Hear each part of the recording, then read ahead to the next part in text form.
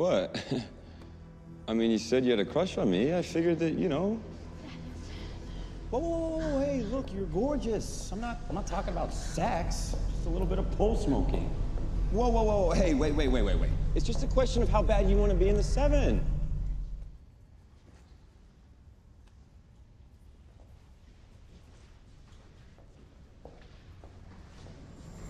Excuse me?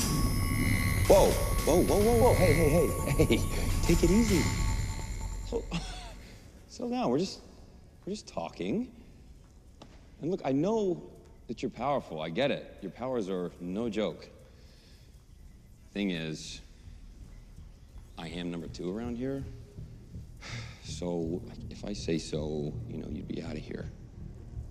Especially since you attacked me. I what? Yeah, look.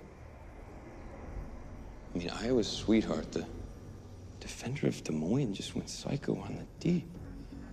I mean, that that could put you out of business. Yeah. I mean, home to mommy, tail tucked between your legs. Just think of all those kids. I mean, the kids. All those kids that look up to you. They'd just be shattered. I mean, that, that's not what you really want, right?